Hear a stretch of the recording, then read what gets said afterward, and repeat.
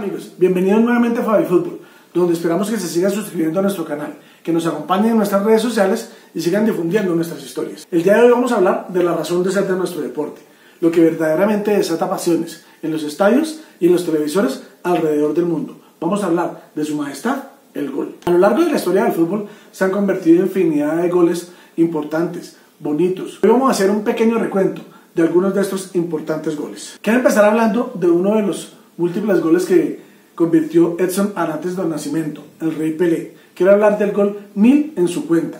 Un gol que logró convertir en el estadio Maracaná, no podía ser de otra manera, el 19 de noviembre de 1969, en un partido por la Liga de Brasil ante el Vasco da Gama. El Santos era el equipo visitante y el Vasco era el local. 30.000 personas que estaban en el estadio estaban haciendo fuerza para que Pelé lograra hacer ese gol y ser testigos en vivo y en directo de esta hazaña. A las 11 y 11 de la noche de ese 19 de noviembre, el juez decretó un penalti por una falta que le cometieron al mismo Pelé. Él tomó el balón para convertir el gol. Según sus propias palabras, fue la primera vez en su carrera que sintió verdaderamente nervios, pero cobró a un costado de Edgardo El Gato Andrada, un arquero argentino al servicio del Vasco da Gama y logró convertir el penalti que desató la locura en el estadio. De hecho, se demoraron 25 minutos en reanudar el partido después del gol. Un gol que le dio la victoria definitiva al Santos por 2 a 1, pero histórico más por ser el gol 1000 en la cuenta de Pelé. Pelé tiene en total 1.283 goles que están documentados en un libro en Brasil que dice cómo y en qué circunstancias se realizó cada gol,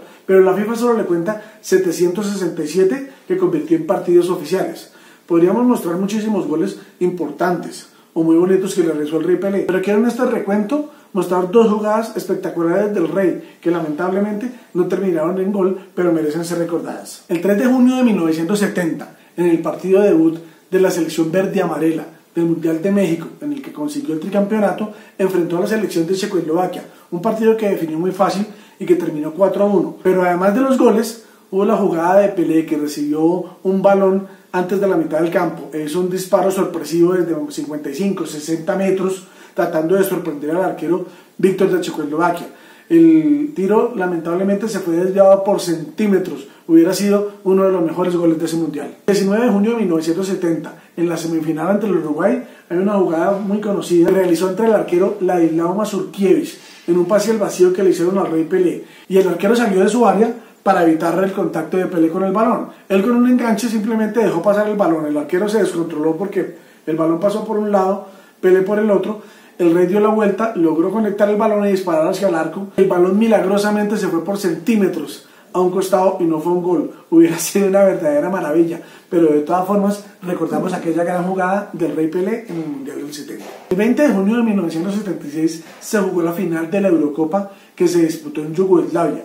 Enfrentó a las selecciones de Alemania y Checoslovaquia en un partido que terminó finalmente 2-2 y hubo que recurrir por primera vez en la historia a la definición por penales en un torneo importante para encontrar su campeón. El logro definitivo que le daría el título a la selección checa en caso de ser convertido le correspondió a Antonín Panenka, un delantero checo, que tomó carrera amagando con disparar fuertemente hacia el arco, descontroló al arquero y a último momento simplemente englobó el balón suavemente para que entrara por la mitad del arco. La picó, lo diríamos en el ambiente de hoy.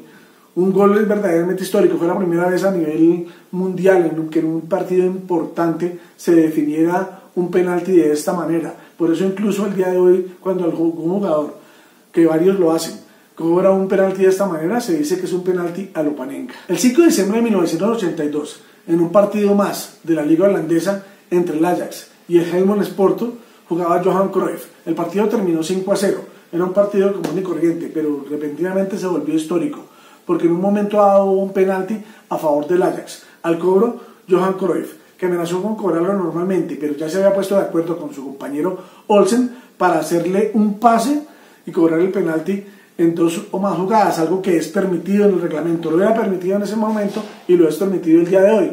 Eh, hicieron el pase, eh, Jesper Olsen le devolvió el balón a Johan Cruyff y él terminó convirtiendo con el arco vacío, ya que el arquero pues simplemente no supo qué hacer con los dos jugadores que lo estaban atacando.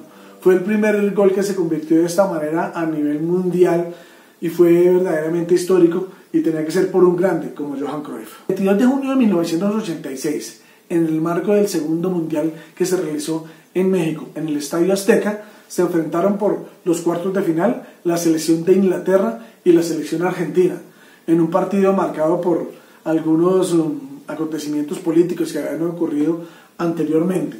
Un partido que terminó el primer tiempo con un 0-0 y a los 6 minutos del segundo tiempo, en el minuto 51, Diego Armando Maradona desniveló el marcador con un gol que claramente lo convirtió con la mano, que fue altamente protestado por los ingleses, pero convalidado por el trío arbitral. Cuatro minutos después, el mismo Diego Armando Maradona recibió un balón en su propio campo y emprendió carrera enfrentando y gambeteando y descontando ingleses 4, 5, 6, hasta que llegó al área rival y también gambeteó al portero inglés Peter Chilton, convirtiendo un gol histórico, un gol memorable, un gol que muchos llaman el gol del siglo, por la belleza de su concepción, por todo lo que tuvo que enfrentar y además, repito, porque para los argentinos fue especialmente como una especie de revancha por lo que había pasado en la guerra de las Malvinas cuatro años antes. Una verdadera joya del Pelusa, de Diego Armando Maradona, y repito, por eso por muchos ha sido considerado como el gol del siglo. También queremos recordar un partido que se disputó el 19 de junio de 1990, en el marco del Mundial de Italia, el último partido de la fase de grupos que enfrentó a la selección Colombia con la selección alemana. La selección Colombia había realizado un buen partido, pero a pesar de esto, en el minuto 43 del segundo tiempo, recibió un gol de Pierre Libarski, que prácticamente condenaba a la selección colombiana a la eliminación de la segunda ronda. Pero la selección Colombia tuvo entereza y en una jugada bastante importante en la que participaron el gran Carlos El Pibe Valderrama, Luis Alfonso El Bendito Bajardo, Leonel Álvarez. Y bueno, la tejieron varios jugadores y fue culminada brillantemente además por Freddy Eusebio Rincón, el coloso de Buenaventura, en un gol histórico y memorable, porque definitivamente clasificó a la selección para los octavos de final por primera vez en un mundial. Fue un gol que se gritó no solamente en Colombia, sino entre todas las partes donde verdaderamente gustan del fútbol. Un gol histórico que logró el empate entre la gran selección alemana, que logró precisamente en ese mundial coronarse tricampeona del mundo. También quiero mencionar un espectacular tiro libre, un espectacular gol que se realizó el 3 de junio de 1997 en un partido Brasil-Francia. Un partido dentro de un cuadrangular amistoso que complementaron las selecciones inglesa e italiana, preparatorio para el Mundial de Francia que se realizaría un año después. Dentro de este Brasil-Francia hubo una falta que se le hizo a Ronaldo Nazario, el fenómeno. Al cobro, Roberto Carlos da Silva, un excelente lateral izquierdo, uno de los mejores de la historia, que lo ganó todo con la selección Brasil y además con gran suceso en clubes importantes como el Real Madrid o el Inter. Roberto Carlos tomó un bastante impulso para este cobro, impactó el balón con violencia, que tomó una trayectoria que parecía que el balón se iba a ir prácticamente a la tribuna, pero finalmente tomó una curva impresionante que permitió que se introdujera en el arco pegada al palo, dejando prácticamente parado al arquero Bartés, que solo atinó a hacerle vista al balón y sorprendió al arquero y a todos los rivales y prácticamente a todo el estadio. Una verdadera joya por la forma en que se realizó ese cobro, por la curva que tomó, incluso algunos científicos analizaron los cobros del gran Roberto Carlos, llamando efectum magnus a la trayectoria que tomaba el balón con los cobros de dicho jugador. Realmente un gol para ver una y otra vez. Finalmente quiero recordar un gol que se convirtió en un partido disputado el 28 de junio del 2014, en los octavos de final del Mundial en Brasil. Un partido que enfrentó a las selecciones de Colombia y Uruguay. Un partido arduamente disputado que no visoraba cómo podía resolverse, hasta que al minuto 28 del primer tiempo, James Rodríguez recibió un balón después de un pase de cabeza de su compañero Abel Aguilar.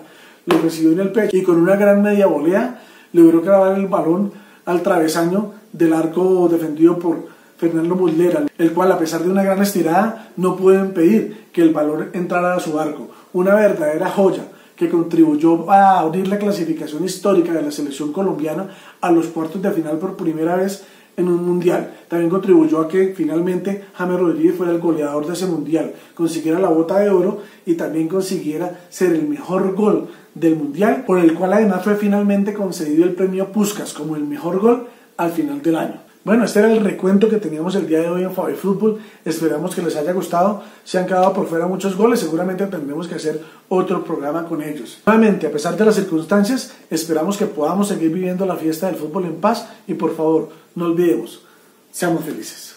Bye bye.